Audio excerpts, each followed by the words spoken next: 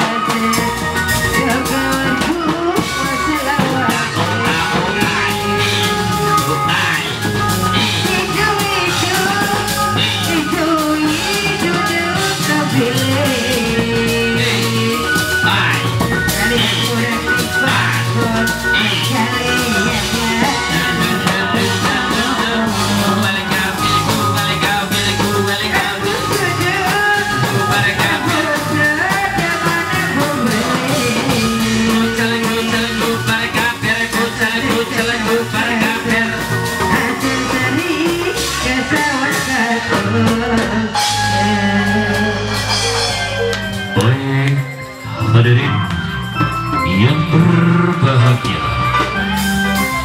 Cukup sudah perjumpaan di sore malam ini Apabila kami banyak kata salah ataupun tidak disengaja